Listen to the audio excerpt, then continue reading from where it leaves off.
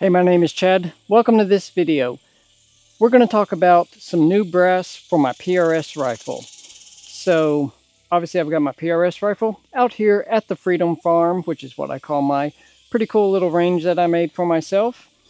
Um, so if you've been following along, you know uh, this coming Sunday, we've got our final match for the local group's PRS uh, season. So we were supposed to have it in June. People were out of town. They delayed it till July. So now we've got a pretty good sized match, apparently like a 80 round match. And it's going to be on July 14th. So a very hot day, most likely. And uh, we're just going to see what happens. But I have been holding on to this Alpha Munitions brass uh, for a couple months. I've been having you know pretty good luck with my Lapua stuff. And I finally decided, you know what, I got barrel clean. This is going to be as good a time as any to get a good start with another brand of brass and see if I can have, you know, similar or maybe even a little bit better results. So just take a quick look at the box here. They come in, you know, a nice box. They've got a foam packing at the top that keeps them uh, from jiggling around too much. So when you actually get your new pieces of brass, they're not all beat up and scratched and possibly dented like the Lapuas are just tossed in a little blue box and closed and then they shake around as things are traveling. So I really do appreciate this uh, since I work in stuff where I'm shipping and receiving things. Uh, good packaging goes a long way in my opinion. Uh, they use what they call OCD, Optimized Case Head Technology. Uh, it's a bunch of scientific stuff. Supposedly they make the head of their cases considerably better and more advanced than other brands. Uh, there's reports of people getting dozens and dozens of firings on these before they start having cracks in their case necks. So I think with my annealing and the quality of this brass, these should last me for a very long time. Um, they did just come out with a new case lube, and I saw that. I went ahead and ordered one of that, uh, a bottle of that, and another box of these. So I'll end up having 200 of these cases. Uh, when you order from them, they do provide you with the amp anneal setting and some other data on the actual brass case dimension-wise. And it's pretty cool that they provide that. So you don't have to sacrifice the case for your amp. They'll give you the code, and that is a huge savings right there. So just looking at it, I mean, it's a piece of brass when it comes down to it. Apparently their stuff is, you know, here in the head, they're going to take and do a lot there. But, you know, they are good looking pieces of brass. And, uh, you know, so far they've loaded up just like anything else. I mean, that's not too difficult. So having good luck with that. What I was thinking is that they might be like a smaller case capacity than my Lapuas. So I wanted to drop down and my current load on my Lapua is, I believe, uh, 39.2 grains. And I started with a 38.8 and a 39.1. Just loaded up five and I was going to shoot them on July 4th. And then it rained in the evening and I wasn't able to get down here. But after work on Saturday, I ran down here and tried just two groups with those. So this was the 38.8 and this was the 39.1 group. So I'm pretty pleased with that. So numbers wise, with that group, I use one of those apps to, you know, measure and mark the shots. They're saying that's a 0.32 MOA group size. I mean, that's plenty good, but, but it was only five shots. So we're going to see if I can repeat that the main thing that interested me was that my speeds were down at 29.25 instead of 29.90s, which is what I was running with my Lapua. So, you know, mentally, I think that I need to be at that 29.90 range, but I had really good numbers at this 29.25 number. So everybody said consistency is the king, just run it. So numbers wise, the first group at the 38.8, Um, I had an extreme spread of 19 and a standard deviation of 6.8. I had one that was like out of the, the group. So most of them were 2903 to 2911. I had one that was 2923. So that was giving me an average of 2910. I think something just went weird with that one. But overall, I mean, not, not a bad group. Definitely something I could work with. but a 6.8 standard deviation, I mean, nothing to complain about. What really excited me was that second group uh, that is like 0.3 something MOA. So that, uh, my extreme spread was 6.0. So my extreme spread was better than my standard deviation from the first group. And my standard deviation was 2.6. So numbers wise, this 2925 average speed is really, really good. But I don't know, mentally, I'm stuck on 29.95. So what I've done is I took that kind of 15 average and mathed it up to what would should give me around 29.90, 95 area. And I loaded up five rounds of that. We're going to give that a try. And then I'm going to try a 10 round group with the, um, the load that gave me really good numbers. See if that holds true. Um, whichever one looks better, that's probably what I'm going to load up into my Kestrel.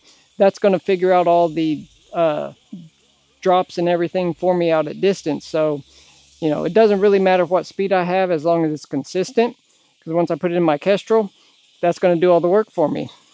Okay, so I had to look around here uh, on my way back from setting up the target. Found a big tarantula walking down there. So filmed a short. Uh, I'll probably post that this evening. But I don't see any around here, so I think we're good. Um, I'm going to start out with the five shots of the 40.2. I really just want to see the speeds and uh, what the group looks like. And then I've got uh, I've got 20 loaded up of the uh, what is it a 30 39.1 load and I'm going to shoot 10 here and then I want to take the other 10 after loading the data in my Kestrel out to distance and see if I can hit at you know 5 740 my targets that are set up uh, from my obstacle out at the road. So we'll see what happens. I did also between the first and second groups uh, yesterday, I took my glasses off because I just kept getting a little shadow when I'm down prone, my neck getting all wiggled around funky. So I'm going to do these no glasses. Um, I can just get a better sight picture that way. So here we go.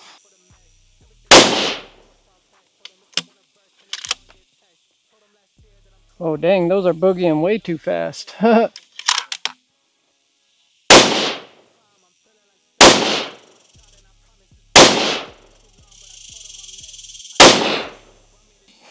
okay, so I can already tell I've went up way too much on my uh, powder estimate there. So it's not a uh, every 0.3 grains gives you 15 feet per second kind of situation. Uh, whoops, that's what you get with only two uh, data points anyways, those jumped up quite a bit. So my average bet was 3,068. Uh, so I jumped up like a hundred and forty or so over what I wanted to be. I had a 24 extreme spread and a standard deviation of 8.2. So, you know, that's nothing. That, that's too fast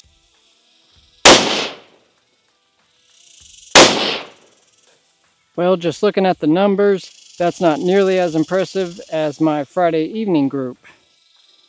So now I'm a bit uh, perplexed. But I mean, on target, it's grouping plenty good. Um, I did adjust my scope, you know, up and uh, just a, a skosh to the left and uh, came up like 0 0.3, 0.2 and a half mils and over to the left like maybe a, a half of a mil. Try to quick blast with the uh, rifle cool, just blows air down through the uh, barrel, lets it cool down a little bit quicker. It's just kind of annoying and loud, but does what it's supposed to.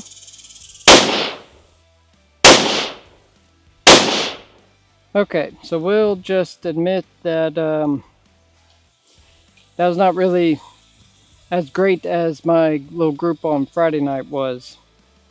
So I'm assuming it's more than likely going to be small variations in the amount of powder. Um, I mean, I'm still getting an average speed of uh, what I was shooting for. 20. This is telling me 2924.5. So um, I just had a much wider standard deviation. Like I had a couple shots that were kind of way out of the, the norm. So like my first one was a 2935 and then I had a 21, which is good, and then a 2940. So that was way out of the norm. And then a 20, 15, and then a 41, and then 17, 12, 21, 17. So I had a 40 and a 35, 40, 41, and 35.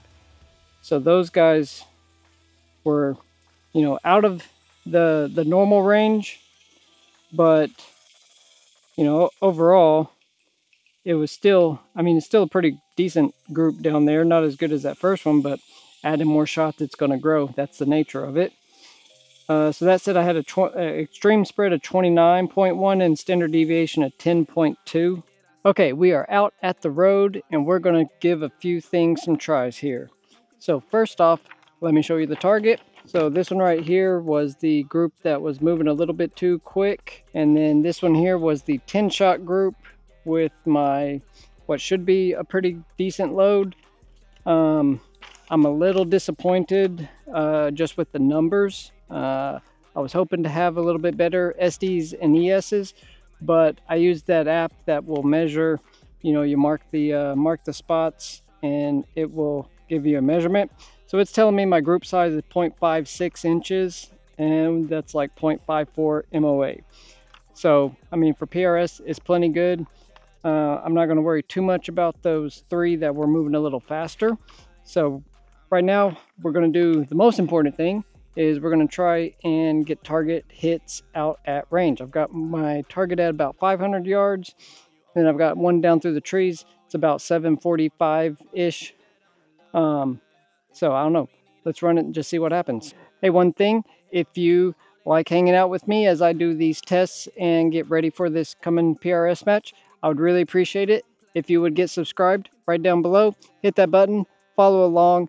I really, really do appreciate it.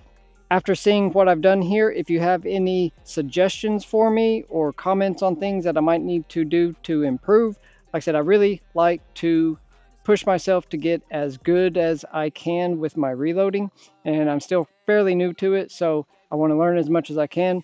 I'm like group sourcing information putting what I'm doing out there. I'm hoping that if anybody's got some tips for me, share them with me down in the comments. I'd really like to learn more as I get into this. I will say at this point, it's too late for me to really do much changing. Um, I've got to work Tuesday through Saturday and the match is Sunday morning. So I'm kind of out of time for doing more tests. This is telling me I need to come up like 2.4 for my first one and then uh, 4.7 on my second one. So let's try 2.4. Looks like I've got all kinds of critters, gnats, and everything coming out now that we're at uh, sundown. So I really don't know what's going to happen, but we're going to give it a try. And, uh, oh man, I have no idea. But we're going to go for it because that's what we came out here to do. I'm sure you heard that. I mean, I got it. 745 yards. Says I need to come up 4.7. I'll give it one tenth just to trust my Kestrel and see if I'm doing this right.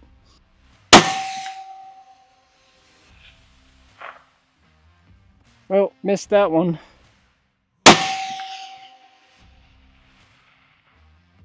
Huh. Well, tricky part about this target is it's like a torso. So it's tall, but it's very narrow. I think at this distance, it's uh, about three quarters of a minute wide and about a minute and a half tall. So I've got height to work with, but I don't have much width. I'm pretty sure I'm missing off to the side.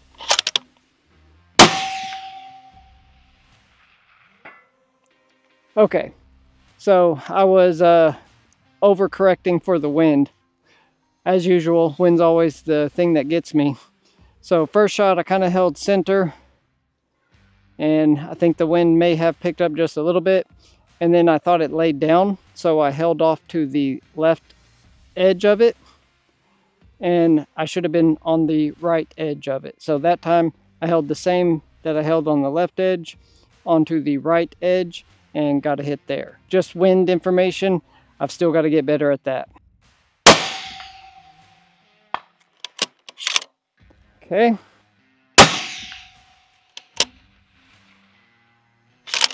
Nope.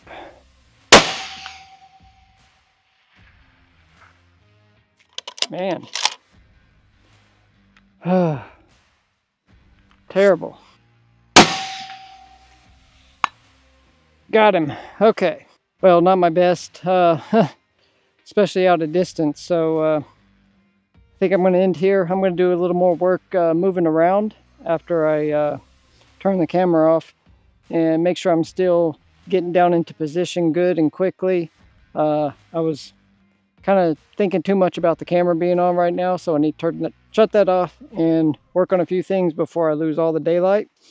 But it is 9.07 p.m. on Monday night, and I'm cutting it close for getting ready for this match. Make sure and tune in next week, see how this match ends up going for me. I am hoping to finish in the top three. That's my like stretch goal. I really want to finish in the top five. Um, I don't know how many people are going to be there, but uh, my goal is, you know, for sure top five. If I can push it and get into the top three, I'll be very happy. So rest of this week, I've got to get my ammo loaded up. And then I need to, uh, I've got a new bag coming in, that Savior bag that I had initially wanted. Finally became available again on Tuesday. So I ordered that. I think I should have that in uh, on Tuesday or Wednesday this week. So I'm to try to get my rifle loaded up in that. I got the new MDT timer ordered. So I'm to try that in the match or uh, I might just wait and play with it after the match.